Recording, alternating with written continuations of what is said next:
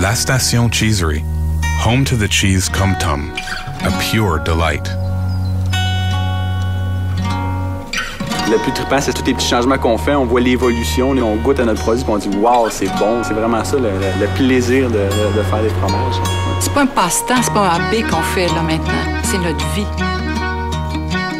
When the Bolduc family set about making cheeses, their main goal was to give them an undeniably local flavor. From growing their own hay and using only fresh milk taken from their cows the same morning, nothing is left to chance when it comes to giving their Comtomme cheese a genuine country accent. It's not quantity, but quality that counts.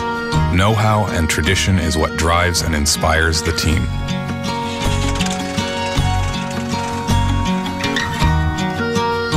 La Station is a biological cheesery, which means a lot of hard work for everyone in the family at each and every step of the production.